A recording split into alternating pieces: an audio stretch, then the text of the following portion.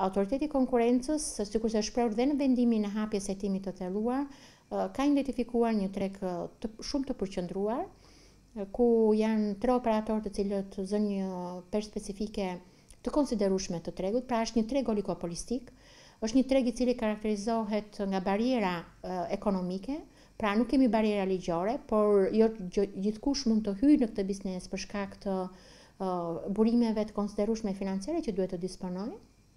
Dhe në këto kushte, themi që në tregun oligopolistik teorikisht, pra në parim, ky treg karakterizohet nga prirja që firmat të bashkërendojnë apo të bashkëpunojnë me njëra tjetrën, qoftë edhe për të kufizuar konkurrencën.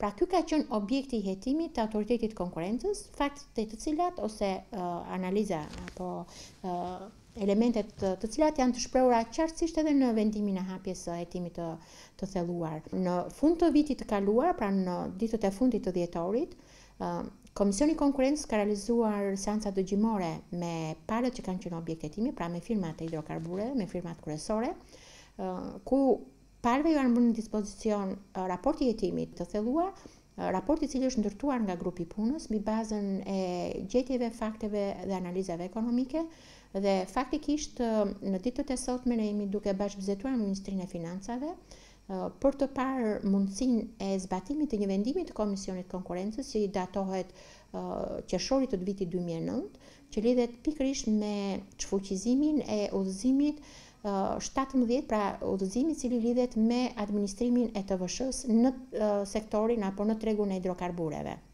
Pra janë tre kompani që kontrollojnë gjithë tregun e karburanteve. Dhe për njërën prej tyre, njërën prej tyre treja, kontrolli nuk nis. Nuk nis këtu brenda, nëpër stacionet e pompimit apo në momentin që importohet apo në depozita. Jo, nis që nga Porto Romano. Është një ligj tjetër pastaj, që është sot në fuqi, që e kanë miratuar këta zotëri, për të cilin natyrisht që ne duhet ta adresojmë shqetësimin menjëherë.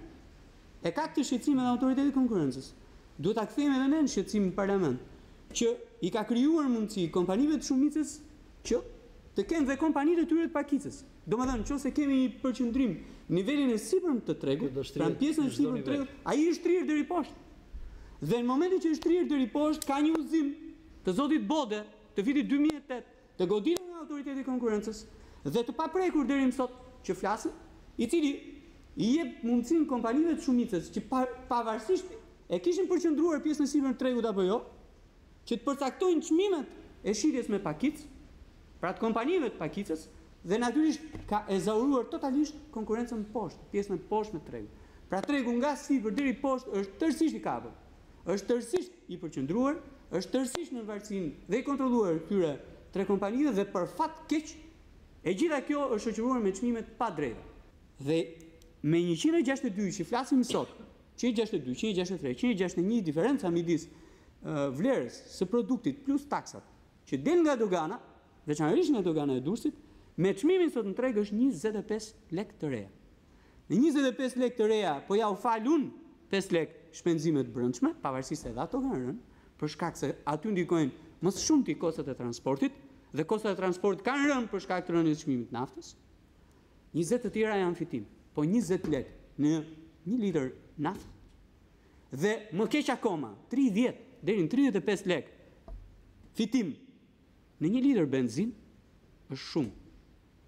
Dhe pikërisht kjo i bën çmimet e padrejta sot në treg. Prandaj, në qoftë se do duhet që ne të merremi me tregun e karburanteve, nuk është kjo që thotë zoti Mima.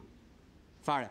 E kishte këtë mundësi zoti Mima ta adresonte gjithë këtë shqetësim në momentin që ka qenë ministër, ashtu siç ai tjetri, Ridvan Bode e ka pas gjithë mundësinë që të formalizonte tregun e shitjes së karburanteve dhe mos nxirrte një udhëzim që për nevojat e administrimit fiskal ta bënte më të thjeshtë po të shkatërronte konkurrencën.